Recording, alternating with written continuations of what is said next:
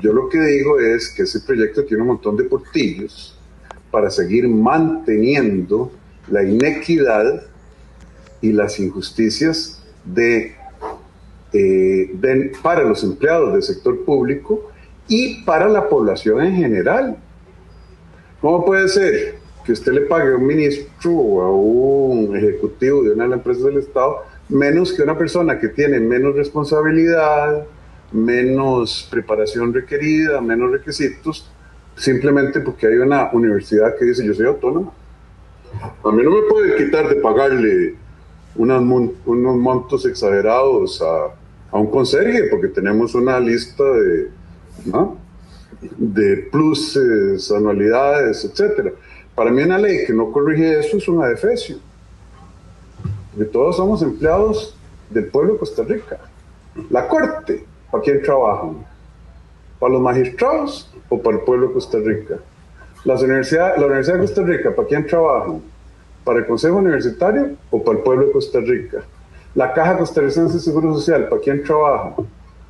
¿Para la Junta Directiva o para los pacientes. Tenemos un solo empleador, que es el soberano, Grady. Y sí, digo que esos portillos representan una defecio. Pero lo perfecto es el enemigo de lo bueno. Entonces yo digo eso, primero no tengo la capacidad legal para no implementar la ley. No tengo. Yo soy la persona más respetuosa de la institucionalidad de este país, aunque otros digan que no demando de la institucionalidad en lo que me corresponde, en lo que tengo competencia para demandar. Apunto y señalo en lo que yo creo que está mal de la institucionalidad, pero la institucionalidad la respetamos. Entonces, yo no puedo decir, no me da la gana, porque eh, no, no es así, implementar esta ley, aunque me parezca una defecio. La tengo que implementar. ¿Qué es lo que hacemos? Minimicemos el daño evaluemos cuáles son los cambios que se ocupa para que no sea un adefesio y que sea justa, moral, correcta, que sirva al pueblo de Costa Rica. El gasto enorme que tenemos en el Estado, porque nosotros no estamos imprimiendo plata para pagar los salarios de la caja, del, Poder Judicial, de las universidades, etcétera. Eso viene de la bolsa del tico y la tica promedio. Si no, ¿de dónde sale? Bueno, gastémoslo bien.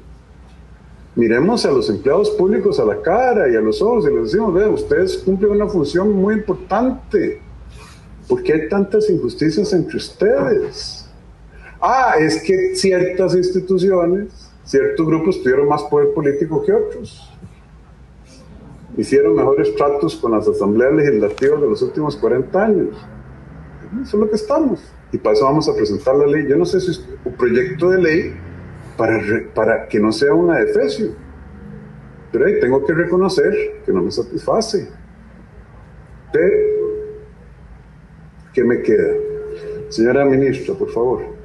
Muchas gracias, señor presidente. Efectivamente, como indicábamos anteriormente, vamos a llevar una vez que el reglamento sea puesto en marcha un proyecto de ley para reformar algunas de estas cosas. Sin embargo, en la tesitura, digamos, de fraccionamiento que tenemos a nivel del Estado y de regímenes de autonomía, es precisamente que se eh, establecieron esos portillos. Adicionalmente, sobre esta ley recordemos que pesan dos consultas de constitucionalidad donde a raíz de esas consultas también el legislador adoptó algunas recomendaciones de la Sala Constitucional que generaron también algunos criterios de excepción a instituciones con autonomía que quedan fuera de la sombrilla de competencias de Mineplan como rector o bien que les da la potestad de definir, de autodefinirse en el caso del Poder Judicial, las universidades y otras con autonomía, cuáles van a ser sus propias reglas del juego y cuáles puestos estarán excluidos de la rectoría del Mideplan. Entonces vamos a llevar eh, un proyecto de ley precisamente para tratar de perfilar mejor eh, no es que la ley no la tengan que aplicar, mucho ojo con eso, la ley es pareja para todos, sin embargo el legislador hizo diferencias en el tratamiento de lo que abarcará la cobertura del Mideplan, siendo que los que tienen autonomía están por fuera, pero igual están en la obligación de aplicar la ley. Lo que no tenemos a nivel de gobierno central es la potestad para vigilarla, la potestad para revisar que estén aplicándolo correctamente, la potestad para ver que no estén generando desequilibrios o abusos en las remuneraciones. Eso quedó fuera de nuestra sombrilla de competencias. Desde ahí es, eh, ahí está el plato arroz con pollo. En teoría lo deberíamos repartir todos bien, pero hay gente que tiene la cuchara más grande y lo único que podemos decir es el principio de equidad y justicia deberían seguirlo, pero si no lo siguen, de ahí, hay mucho muchoncillo por ahí, pero